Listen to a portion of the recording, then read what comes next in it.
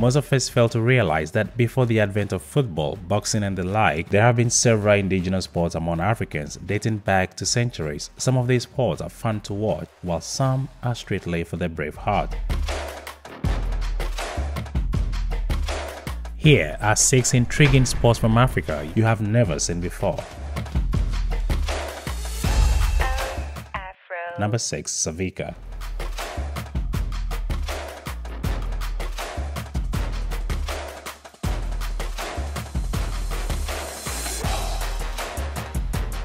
This is just sports on a whole new level. Savika used to be a rite of passage among the Betsileo community of Madagascar, but now it's considered mostly a sport. Bull is released from its cage and players try to mount it and hang on it for as long as possible. Since bulls are considered sacred among the Malagasy, they are surprisingly well treated. Once in the arena, the Misavika, who is the hero of the show, begins to excite the beast to the point of driving it mad. To protect himself, he has only his bare hands, his skills, and the cries of joy of the audience. The duel ends only when the beast is exhausted or when the man is seriously injured. Noah was actually giving at the end of the day just a crazy lot of respect.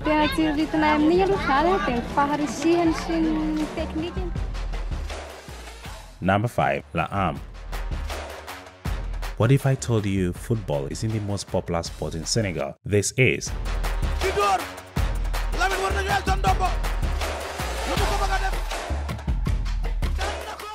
A deceptively simple but yet difficult contest between two men dressed in loincloths and decked in many talismans. Whoever puts his opponent on the ground, whether on his back or stomach, is the winner. Laamb is a folk wrestling traditionally performed by the Serer people, but now a national sport in Senegal.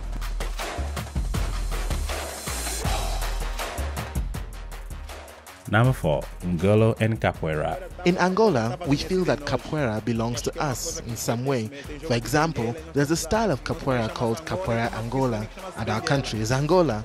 And there's another type called Capoeira Benguela, and there is a province here called Benguela. The Ngolo is the root of Capoeira, the popular dance in Brazil. Angolan slaves who went into Brazil through Port Benguela took with them the tradition of fighting with their fate. Over time, that which was basically a tribal tradition was transformed into a weapon of attack and defense disguised as a dance. It helped the slaves to escape and establish free communities for themselves. Back in Angola, Ngolo is a big deal, especially for boys who are ready to marry. Boys who win the Ngolo tournament are allowed to choose a wife among beautiful girls without having to pay a single dowry. Now this is a place men would love to be. Number 3. Dambe Boxing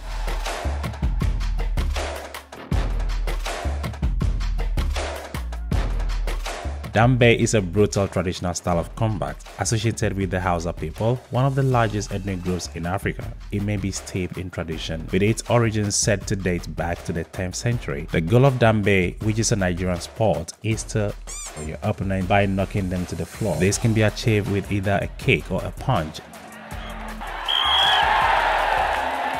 With fights lasting a maximum of 3 rounds, the fight only comes to an end when an opponent or an official calls for a stop or the opponent is killed. that is, should any part of his body hit the ground, the fighters bind their punching hand with a rope to make it as hard as possible. This is their primary weapon. The weaker hand is then used as a shield.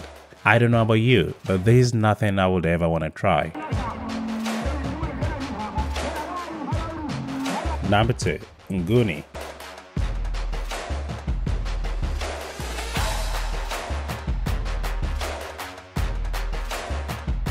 This martial art form is popular among the Zulu Nguni herders in South Africa and is strongly rooted in their history. It is a stick fight that can last up to 5 hours where opponents take turns at playing offense and defense, scoring points based on which part of the body is struck. It is a bloody sport and sometimes opponents do but it is still practiced today despite all criticism.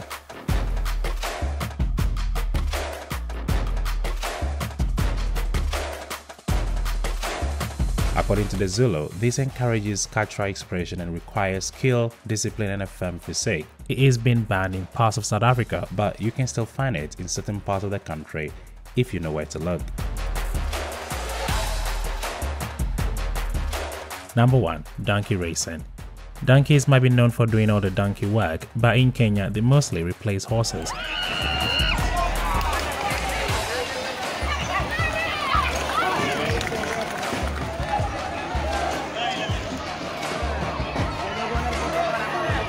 This is a popular sporting event that happens in Kenyan coastal town of Lamu. Donkeys to Lamu are a must.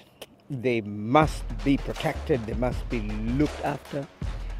Without donkeys, there's no life. The Swahili people of Lamu have a particular advantage as they use donkeys every day, making the race quite competitive. Since I bought this donkey for racing, he has been unbeaten. The sport is played by a rider who hops on the back of a donkey and nudges it to the finish line as fast as he can. As these animals are domesticated and used primarily as means of transportation, they have been adequately adapted for this African sport. Now which of these sports is the most intriguing to you?